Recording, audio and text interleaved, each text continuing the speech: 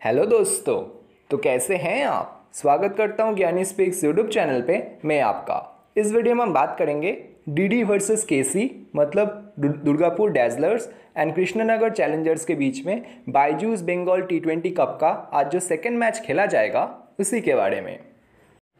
दोस्तों, इस मैच का जब आप टीम बनाने जाएँगे तो आपको दिखेगा ऑलराउंडर सेक्शन में टॉप चार ऑलराउंडर को ही जनता 80 परसेंट या 90 परसेंट से ज़्यादा सिलेक्ट करके बैठा है। बट उनके नीचे एक गुप्ता एंड एस असीफ हुसैन जिनका सिलेक्शन एक परसेंट और एक परसेंट है, ये ग्रैंड लीग में आपके लिए चमत्कार कर सकते हैं। और स्मॉल लीग में भी अगर आप रिस्क लेके ट्राई करते हैं तो बहुत बढ़िया काम कर सकते हैं। क्यों कर सकते हैं? कैसा इनका रिसेंट फॉर्म रहा है? कैसा इनका कैरियर एवरेज सब कुछ हम इस वीडियो में डिस्कस करेंगे। दोनों टीम्स का हर एक प्लेयर के बारे में अच्छे से इन्फॉर्मेशन लेंगे ग्राउंड के बारे में अच्छे से इन्फॉर्मेशन लेंगे, पूरे टूर्नामेंट के बारे में ही अच्छे से इन्फॉर्मेशन हम इस वीडियो में देने वाले हैं। तो वीडियो को कंप्लीट वॉच कीजिएगा, बिना स्किप किए। और दोस्तों, हम आपसे वादा करते हैं, अगर आप वीडियो को कंप्लीट वॉच करते हो तो वीडियो के एंड होने तक आपके पास छः से दस प्लेयर ऐसे होंगे जिनका सिलेक्शन अंडर टेन परसेंट है। और उनको अगर आप बारी बारी अपने टीम में ट्राई करते हो तो ग्रैंड लीग में आप अच्छा खासा रैंक ला सकते हो। तो ऐसे ही इन डेप्थ एनालिसिस वाला वीडियोस इन्फॉर्मेटिव वीडियोस आपको इसी चैनल पे मिलते रहेंगे। तो इसीलिए चैनल को ज़रूर से सब्सक्राइब कर लीजिएगा और वीडियो को आगे इन्जॉय कीजिएगा। और हाँ सब्सक्राइब करने के बाद उसके बगल वाला बेल बटन को ज़रूर से ऑल कर दीजिएगा, ताकि जब भी हम कोई नया वीडियो डालें नोटिफिकेशन आपके पास सबसे पहले पहुँच जाए। अच्छा तो ये मैच खेला जाएगा आज शाम को साढ़े आठ बजे से। मतलब आठ बजे इसका टॉस होगा। टॉस हो जाने के बाद दोनों टीम्स का playing eleven with toss report आपको मिल जाएगा हमारे टेलीग्राम चैनल पे, जिसका लिंक इस वीडियो के डिस्क्रिप्शन सेक्शन में आपको मिल जाएगा। आप जाके चेकआउट कर सकते हैं एंड ज्वाइन कर सकते हैं। दोस्तों वेन्यू कौन सा है? इडन गार्डन स्टेडियम कोलकाता। इस ग्राउंड पे सारे के सारे मैचेस इस टूर्नामेंट का खेले जाएँगे ड्यू टू कोविड रीजंस ठीक है? वेन्यू स्टैट्स अगर आप देख लेंगे तो टी ट्वेंटी मैचेस यहाँ पे टोटल 77 खेले गए हैं, जहाँ पे बैटिंग फ़र्स्ट करने वाला टीम 31 टाइम्स जीता है बैटिंग सेकेंड करने वाला टीम 46 टाइम्स जीता है। तो बैटिंग सेकेंड का थोड़ा सा ज़्यादा फेवर रहा है। मतलब इस मैच में भी जो भी टीम चेस करेगा, आप उनको फेवर करके स्मॉल लीग में एंड ग्रैंड लीग में टीम बना सकते हैं। एवरेज स्कोर बैटिंग फ़र्स्ट करते हुए 160 का है highest score two two thirty two lowest score forty nine का।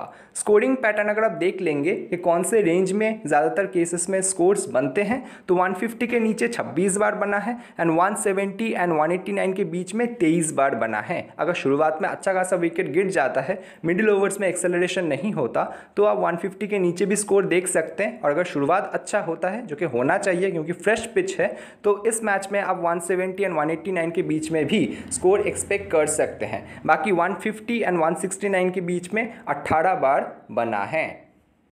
अच्छा कौन से टाइप के बॉलर को आपको चूज़ करना है? क्योंकि इस ग्राउंड पे कौन से टाइप के बॉलर को ज़्यादा फेवर मिलता है, वो आपको जानना ज़रूरी है। देखिए, यहाँ पे एवरेज से हम तुलना करने का कोशिश करेंगे। जितना कम एवरेज होगा उस बॉलर का, उतना बेटर उनको माना जाएगा। राइट आर्म ऑर्थोडॉक्स स्पिनर जो है, उनका एवरेज है ट्वेंटी थ्री का। उसके बाद लेग ब्रेक बॉलर्स उसके बाद चाइनामैन बॉलर्स उसके बाद फास्ट बॉलर्स फिर लेफ़्ट आर्म ऑर्थोडॉक्स स्पिनर्स, उसके बाद मीडियम फास्ट बॉलर्स। तो right arm off break bowlers and leg break bowlers पे आपको ज़्यादा फोकस करना है और फास्ट बॉलर्स और मीडियम फास्ट बॉलर पे भी आप फोकस कर सकते हैं, क्योंकि डेथ में डालते हैं।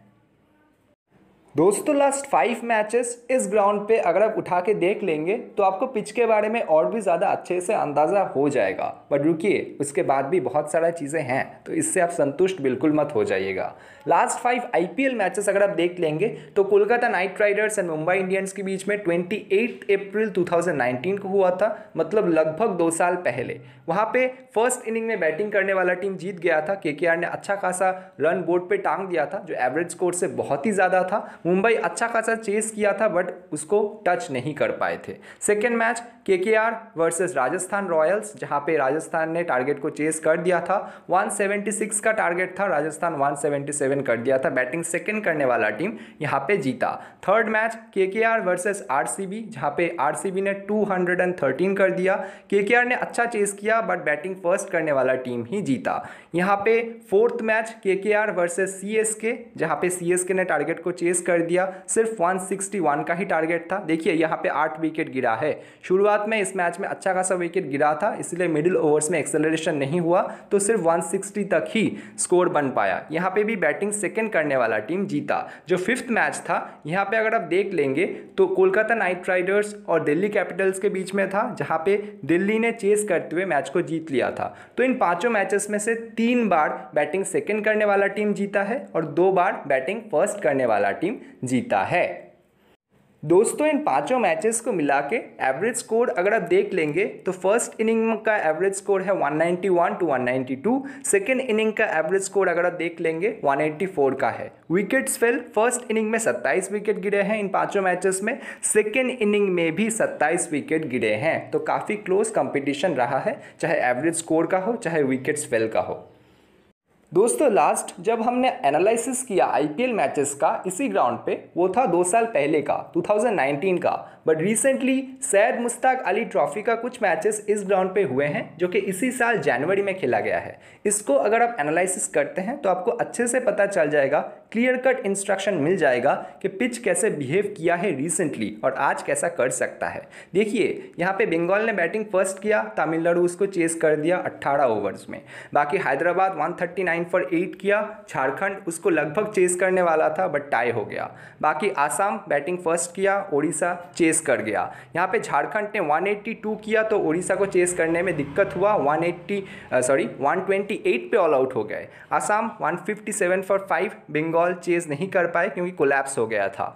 बाकी Hyderabad 152 for seven and Tamil Nadu उसको आसानी से सात विकेट से मैच को जीत गए थे एंड चेस कर दिए थे। यहाँ पे बैटिंग फ़र्स्ट करने वाला टीम छः में से दो मैचेस जीता है एंड बैटिंग सेकंड करने वाला टीम छः में से तीन मैच जीता है। तो यहाँ पे भी बैटिंग सेकंड का थोड़ा सा ज़्यादा फेवर रहा है। बाकी टाई हुआ है एक मैच दोस्तों ग्राउंड को लेके एंड पिच को लेके जितना इन्फॉर्मेशन लेना ज़रूरी था, हम ले चुके हैं। अब बारी बारी हम दोनों टीम्स के बारे में एंड दोनों टीम्स में मौजूद हर एक प्लेयर के बारे में हम अच्छे से डिस्कस कर लेंगे ताकि आपको पता चल जाए कि कौन से प्लेयर को लेना है, कौन से प्लेयर को नहीं लेना है और कौन कौन player under ten percent selection है बट ट्रंप प्लेयर आपके लिए बन सकते हैं। तो अच्छे से देखिएगा एंड कंप्लीट वॉच कीजिएगा। शुरुआत करते हैं हम कृष्णनगर चैलेंजर्स से, जिनका कैप्टन है अर्नब नंदी। नंदी साहब मतलब कैप्टन साहब फोर डाउन बैटिंग करते हैं मतलब लोअर मिडिल ऑर्डर में बैटिंग करते हैं और फुल ओवर्स बॉलिंग करते हैं। डेथ में भी डालते हैं, शुरुआत में भी डालते हैं। ये बात आपको ध्यान रखना होगा। रिसेंट फॉर्म ठीक ठाक रहा है। थर्टी रन और one wicket four wicket bowling first करते हुए, उन्नीस रन और एक विकेट यहाँ पे सत्तारह रन और एक विकेट एक विकेट एक विकेट एक विकेट तो जनता इनको कैप्टन बना के लेके जाएगा अपने ड्रीम इलेवन टीम में। आप भी कर सकते हो कोई दिक्कत नहीं है। दोस्तों उसके बाद आ जाते हैं कौशिक घोष जो कि एक ओपनिंग बैट्समैन है। रिसेंट फॉर्म आप इनका देख ही सकते हो 41, 38, 64, 46, 37 बीच बीच में आप 7, 7, 12 का भी इनिंग्स देख सकते हो। बट अगर इस मैच में ये 40 प्लस कोई इनिंग खेल जाते हैं तो आपके लिए काफ़ी अच्छे ट्रंप प्लेयर साबित हो सकते हैं क्योंकि इनका सिलेक्शन है सिर्फ़ और सिर्फ़ 16 परसेंट आपको बैटिंग सेक्शन में मिल जाएगा। तो खेलते हैं तो ग्रैंड लीग के टीम में ज़रूर से ट्राई कीजिएगा। दोस्तों फिर आते हैं अर्गदीप शाह और D Niyogi. Argadeep Shah wicket keeper batsman है जो राइट हैंडेड बैट्समैन है। 50, 14, 37, 73 इनका रीसेंट फॉर्म रहा है और U25 का मतलब है अंडर 25 प्लेयर है। अच्छा इससे पहले मैं आपको और एक चीज़ बताना चाहूँगा। जनरली जो सीज़न वन हुआ था इस पर्टिकुलर टूर्नामेंट का Byju's Bengal T twenty cup का वहाँ पे दूसरे स्टेट से भी प्लेयर्स आते थे एंड खेलते थे। बट इस बार कोविड रीजंस के चलते बाहर से प्लेयर नहीं ला रहे हैं बंगाल में। और बंगाल में ही जो अंडर 23, अंडर 19, अंडर 25 के प्लेयर हैं उनको मौका दिया जा रहा है। ठीक है सीनियर्स प्लेयर्स के साथ। तो इसीलिए ऐसे ऐसे प्लेयर्स आपको दिख जाएँगे जो अंडर 25 खेले हैं अंडर 23 खेले हैं और इस बार टीम्स में मौजूद हैं। एटलीस्ट स्क्वाड में मौजूद है और मेरा एक्सपेक्टेशन है कि एक से दो प्लेयर उनमें से ज़रूर आपको प्लेइंग इलेवन में दिख जाएँगे। तो उनमें से एक है इस मैच में अर्घदीप शाह, जिनका रिसेंट फॉर्म काफ़ी अच्छा रहा है और इनका सिलेक्शन अगर आप सुनोगे तो चौक जाओगे, डेढ़ दोस्तों, उसके बाद आ जाते हैं तीन अंडर 25 के और प्लेयर्स जो कि स्क्वाड में मौजूद हैं। D Niyogi, Sambit Das and S K Asif Hussain. D Niyogi middle order batsman है। कभी कभी ओपनिंग भी कर लेते हैं। रिसेंट फॉर्म उतना कुछ खास नहीं है। सिलेक्शन भी कुछ खास नहीं है। तो उस हिसाब से आप अवॉइड कर सकते हैं। संबित दास अंडर 25 प्लेयर छः इनिंग्स में 63 रन बनाए हैं। एवरेज 12.60 का है। Bats at number four number चार पे बैटिंग करते हैं दो आउट हो जाने के बाद ये आते हैं जनरली बाकी S K Asif Hussain under 25 के प्लेयर हैं रीसेंट फॉर्म देखिए 64, 18, 13, 16 नॉट आउट 33 यहाँ पे 73 तो काफ़ी अच्छे फॉर्म में रहे हैं तो आप इनको चाहो तो ट्राई कर सकते हो इनका भी सिलेक्शन अंडर टू परसेंट आपको दिख जाएगा. दोस्तों उसके बाद आ जाते हैं चार और अंडर 25 के प्लेयर्स जो कि स्क्वाड में मौजूद हैं। देखिए, आर्यमान सिंह, जो बैटिंग सेक्शन में बिल्कुल नीचे आपको दिख जाएँगे, सिर्फ़ और सिर्फ़ एक पर्सन सिलेक्शन के साथ एवरेज 29.83 का अपने क्लब के लिए नंबर तीन पे खेलते हैं। रीसेंट फॉर्म ठीक ठाक रहा है, आप ज़रूर से ट्राई कर सकते हो। स्टैंडर्ड बैट्समैन है क्वालिटी बैट्समैन है। अग्निव पान, जो विकेट कीपिंग सेक्शन में आपको दिखेंगे, और लगभग 88 परसेंट का सिलेक्शन है एवरेज 22 का, आप ट्राई कर सकते हो। नंबर पाँच पे बैटिंग करते हैं। बाकी अनुज कुमार सिंह, इनका भी सिलेक्शन ठीक ठाक है। Bats at number four average देखिए 52.28 का हाईएस्ट 123 नॉट आउट तो बहुत क्वालिटी बैट्समैन है, ज़रूर से ट्राई कर सकते हो।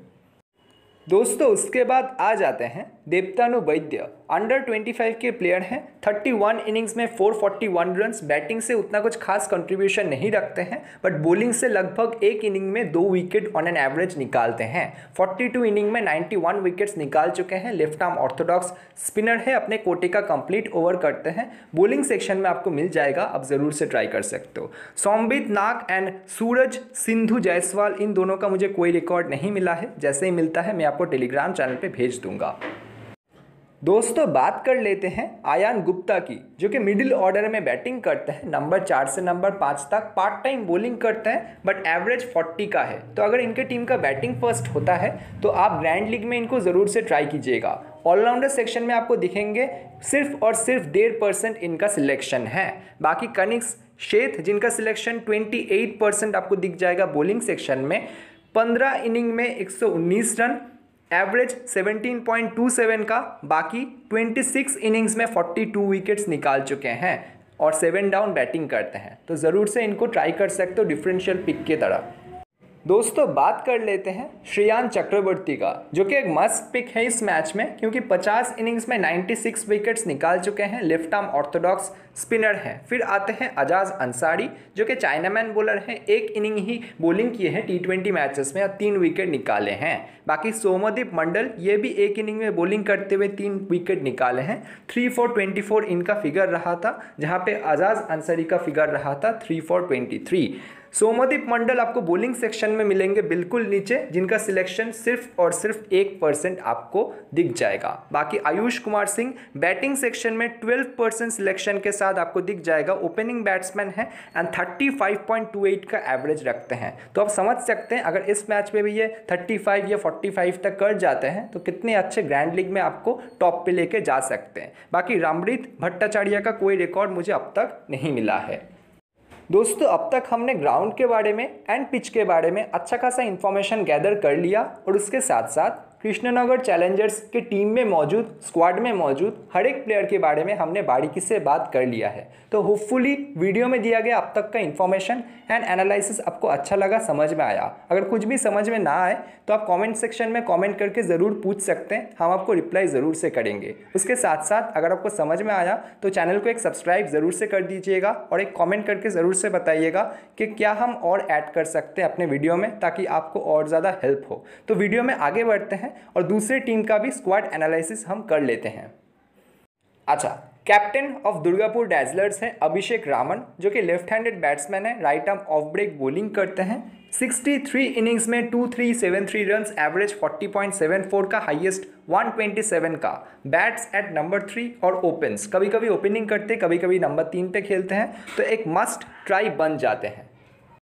दोस्तों, यहाँ पे और एक चीज़ मैं आपको बताना चाहूँगा, जहाँ पे अभिषेक दास, जिनका एवरेज 33.62 का है बैटिंग करते ओपनिंग या नंबर तीन पे, यहाँ पे अर्नब चौधरी, जो लेफ़्ट हैंडेड बैट्समैन है right arm off break part time bowling भी कर सकते हैं। 28 इनिंग्स में 915 रन एवरेज 38 का। ओपनिंग करते हैं या फिर नंबर तीन पे खेलते हैं, ये भी। बट इनका सिलेक्शन है वन परसेंट का और इनका सिलेक्शन है नाइन्टी थ्री परसेंट का।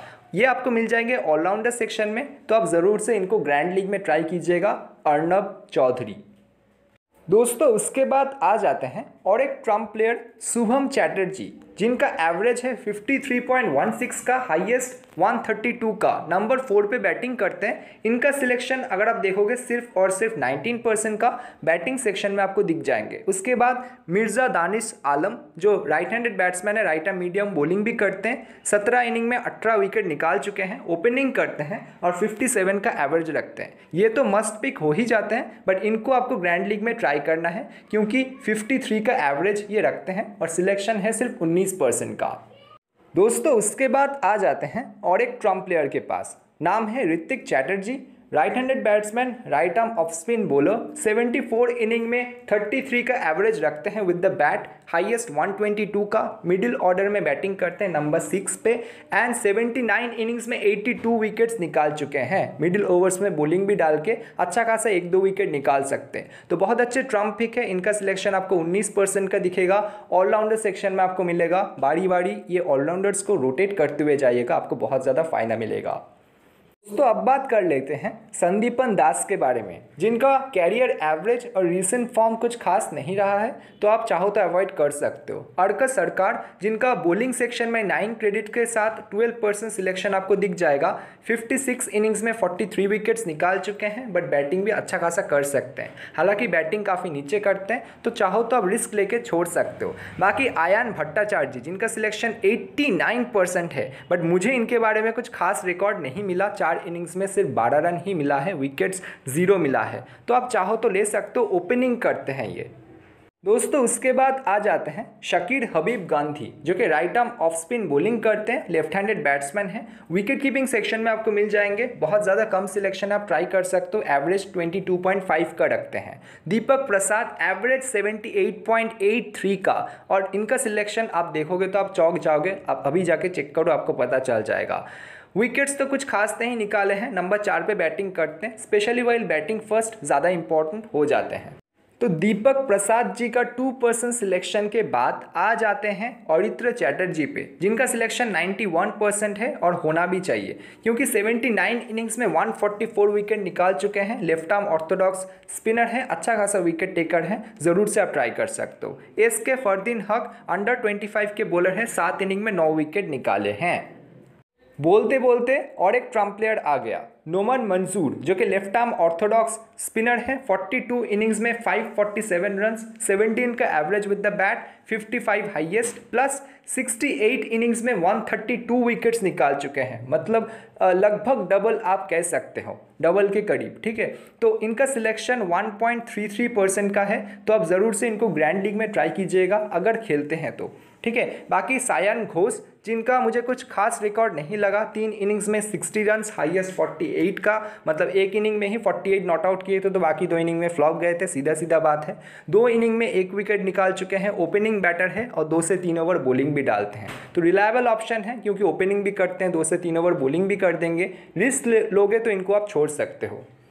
दोस्तों, उसके बाद आपको दिख जाएँगे तीन परसेंट और दो परसेंट सिलेक्शन वाले रविकांत सिंह और रोशन सिंह। दोनों Singh brothers obviously they are not brothers but नाम मिलता है, इसलिए मैं बोल रहा हूँ। 58 इनिंग्स में 86 विकेट्स रविकांत सिंह का एंड 40 इनिंग्स में 64 विकेट्स रोशन सिंह का। काफ़ी अच्छे बॉलर है दोनों right arm medium and left arm medium आप ज़रूर से ट्राई कर सकते हो एज डिफरेंशियल पिक्स और ग्रैंड लीग में तो ट्राई करना ही है, अगर खेलते हैं तो।